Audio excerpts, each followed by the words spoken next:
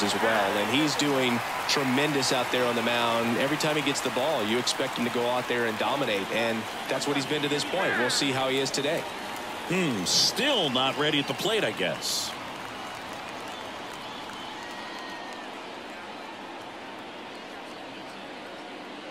Jesse Cavanaugh in the box now. Take strike one. Well, in this situation with runners on, you've got to get ahead in the count that you can dictate the rest of the at-bat. Nice job right there. And a pitch. That one is absolutely belted.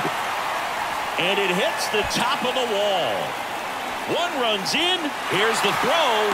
He scores all the way from first. A terrible job getting it back to the infield, and it costs them a run.